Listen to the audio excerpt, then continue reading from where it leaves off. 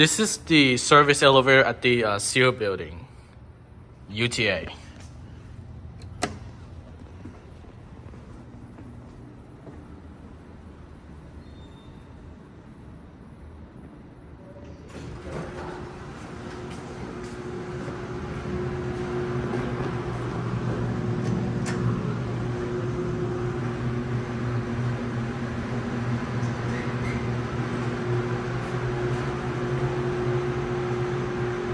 Take a look at this. These are pretty uh, decent for a service elevator.